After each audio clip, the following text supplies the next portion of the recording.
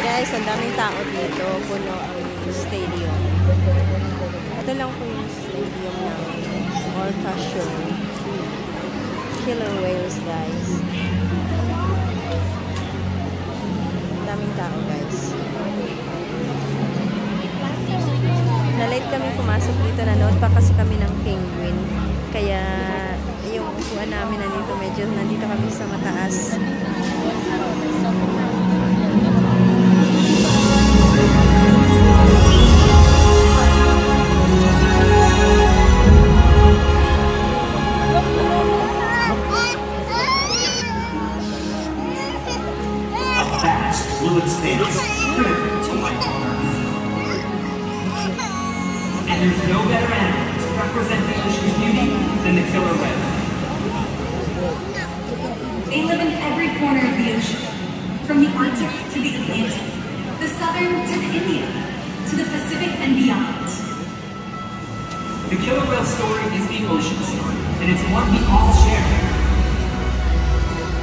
We are one world, united by our ocean.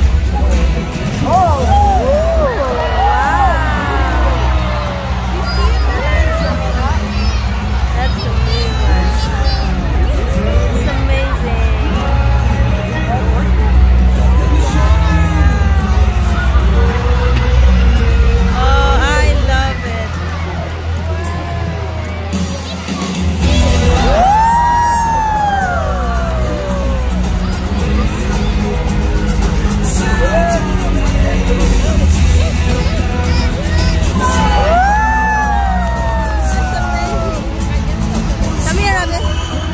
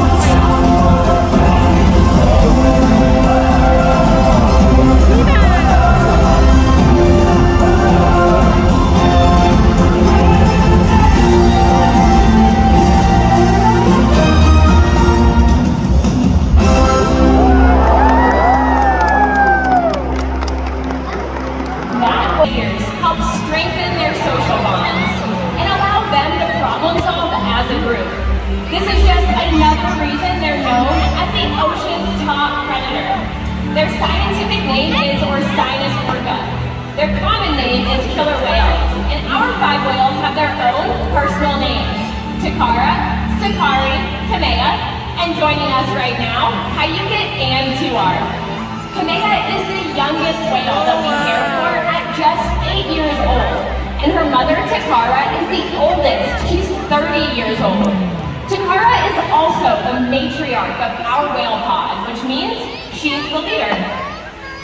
These whales trust us, and they take an active role in their own health and well-being. Through the use of positive reinforcement training techniques, we teach them husbandry or healthcare behaviors that allow us to take care of them. Joining us now, we have Joel and Ceci to help demonstrate some of these behaviors. Thanks, Carrie. Hi, everybody. I'm over here on this side of the pool interacting with 22-year-old male Tuar. And one of the first behaviors we teach the whales is called a fluke present or a tail present.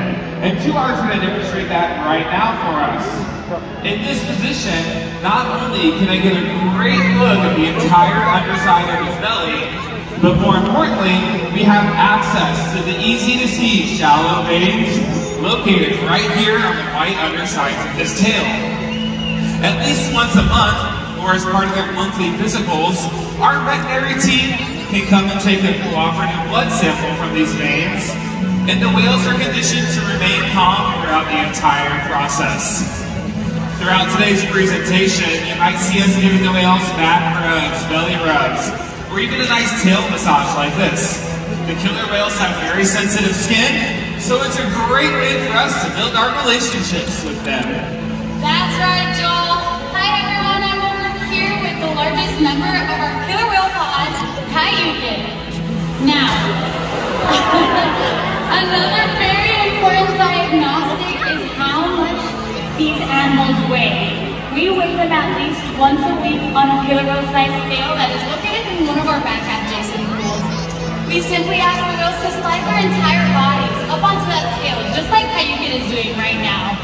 Now, you will notice that a portion of his body, from right here on his dorsal fin all the way down to his tail flukes, is still in the water. This part of his body is called his peduncle, which contains many muscles that can weigh several hundred pounds. So in order to record an accurate weight, we simply ask the whales to lift their head and tails up, just like that. And that's how we find out that as of Tuesday morning, Kyuquot weighs 9,650 pounds. Now, obtaining these weights is very important so that we can make sure that our younger whales are growing at a steady rate and our older whales like Kyuquot are maintaining a healthy weight. With these husbandry behaviors, we can make sure that these whales are staying healthy and thriving. And the care isn't just physical. Mental stimulation and play are vital. We surprise and engage our whales every opportunity. Play is how killer whales teach their young to hunt. And for the adults, play is important too. It seems that they just enjoy having fun. Making time for play is an important part of life for killer whales. And for us. Observational learning and mimicry play a critical role in the life of a killer whale. From the moment they are born, they begin learning necessary life skills simply by observing their mother and copying what she does. Here at SeaWorld, we play fun games like Follow the Leader that mimic these natural behaviors, and today we're going to play that with some of you. We'll start with our section in front of Joel and Tuar. Now the first thing we're going to do with Tuar is we're all going to raise up our left arm and give him a great big wave hello. Say hello, like this. Say hi. You can see he's raising up that pectoral flipper nice and high in the air and waving right back at you. Killer whales have great eyesight and they can see really well both above and below the water. We often see them spy hopping or even jumping completely out of the water to get a better view of their surroundings. And with your help, Tuar is going to demonstrate this behavior. Everyone point at Tuar with your left hand and throw it over your right shoulder. Ready, go. Nicely done. Tuar is going to use those powerful tail flukes and that peduncle muscle to propel himself down to the bottom of this 40-foot pool and turn your attention